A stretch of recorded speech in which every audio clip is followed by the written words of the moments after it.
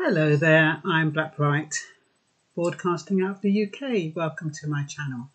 Uh, today I wanted to talk a little bit about what's going on in Jamaica. As you know, I cover a lot of different subjects. Sometimes I cover Jamaica only because that's my heritage and what's going on there, you know, is of interest to me and fellow Jamaicans around the world.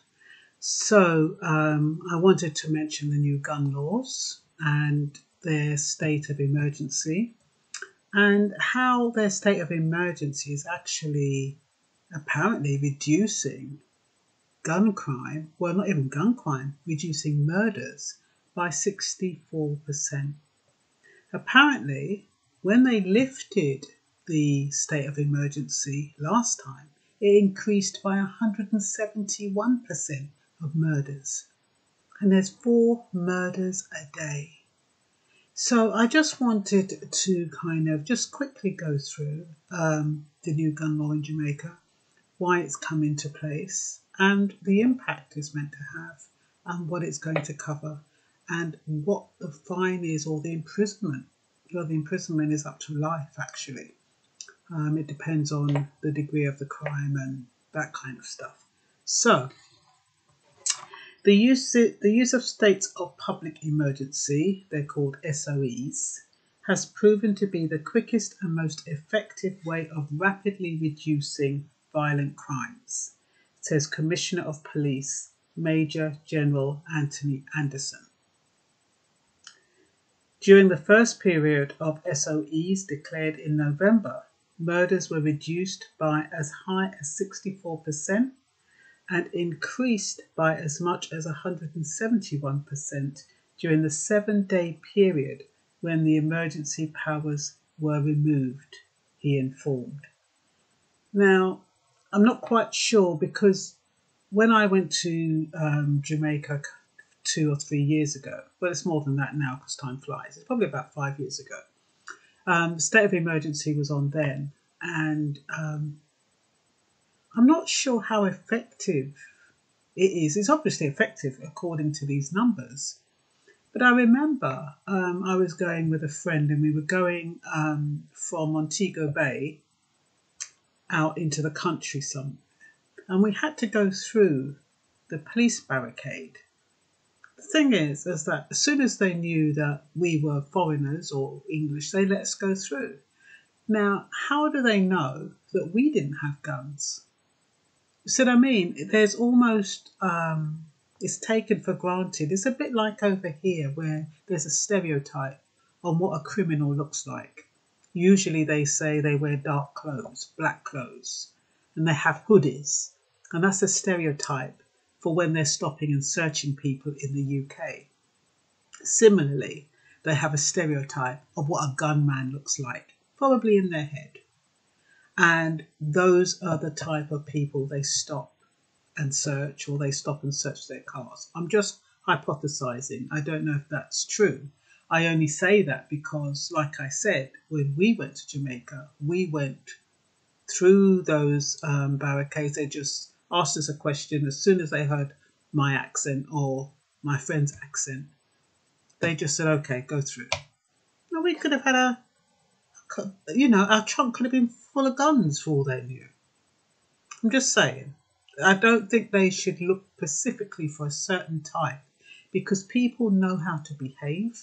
And I mean, like they do over here, they tell you to wear a suit and tie when you're going to the courtroom so you look respectable. So these things, these um, people who deal drugs, it's like um, they know how to present themselves. And so they shouldn't be looking for the what seems to be obvious or the stereotype. But anyway, the new Firearms Act came into effect the beginning of November, so just last month. Since the beginning of this year, the country has recorded a daily average of four murders. That's four murders a day. This peaked in September when the daily average reached five murders. I mean, what they're saying is, well, actually, he says nearly five murders. I mean, how can you have half of a murder or a nearly five? I mean, if it was four murders a day, um, at the beginning of the year, and now it's nearly five murders. How does that how does that compute? Anyway, I'm not going to question it. A total of 70 persons have been charged under the new Firearms Prohibition, Restriction and Regulation Act. 63 were men, 7 were women, and they were charged between November the 1st and December the 20th. What, one month? The Commissioner pointed out that the majority of those charged fall into the 16 to 30 age group. So these are young people. The legislation distinguishes between prohibited weapons, unregulated firearms, activities connected to the use of the firearm, and whether or not the person is authorized or registered to use the firearm.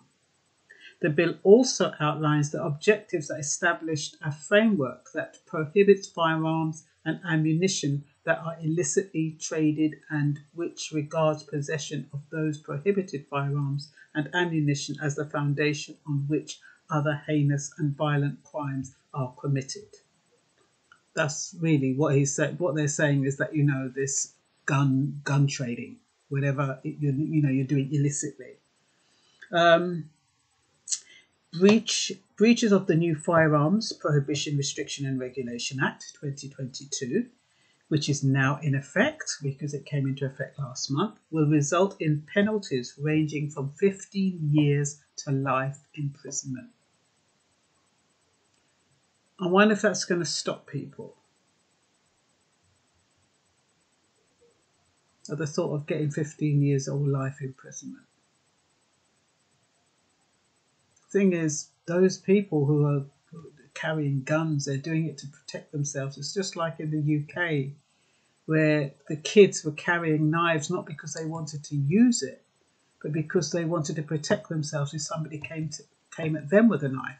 I think the principle is the same in Jamaica. You know, they don't want to use a gun, but if somebody pulls one out on them, they want to be able to defend themselves. It must be awful to live like that, live in fear that your life is going to be taken and you're always having to defend your life. Awful. Anyway, states of public emergency SOEs are now in effect in St Ann, Clarendon, where my mum comes from. I can't imagine little Clarendon being a state of emergency. St Catherine, Kingston, St Andrew, St James, Westmoreland, and Hanover, and are intended to curtail increased criminal activities and bolster public safety. So I don't know how they do that because a lot of these deaths are sometimes domestic. Most of them are domestic. Most of them are, you know, arguments. How how does I mean okay if you don't have the gun you can't do the harm. But often these things are kind of emotional. They just happen in the spur of the moment. By the time but I guess if you don't have it in the first place you can't use it. But these guns are getting into the country somehow and it's not little people that can get these guns into the country so they need to be, rather than putting out gun laws and um, putting people in prison, what they need to do is find out the people who are bringing the guns in the country. That's what they need to do and stop them. I mean, I think they had a heist the other day and found quite a few guns, but they need to do more of that. And that's all from me. Blackbright News on YouTube.